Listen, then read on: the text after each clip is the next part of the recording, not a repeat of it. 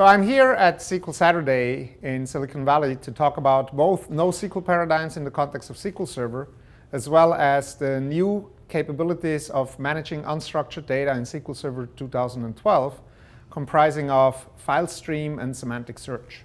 The NoSQL paradigms are paradigms that are becoming increasingly more important in order to be able to build scalable, highly flexible uh, applications, both in the cloud world as well as uh, inside the data centers and enterprises.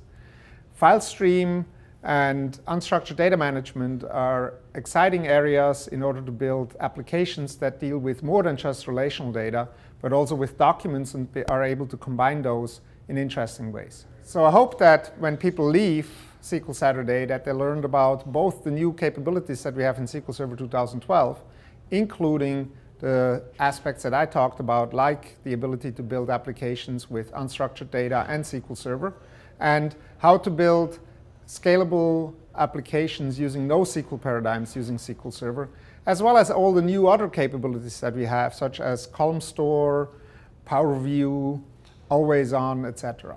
So I started at Microsoft in the late 1990s, and I was interested in basically bringing some cool new capabilities to SQL Server in the context of managing unstructured data and XML documents.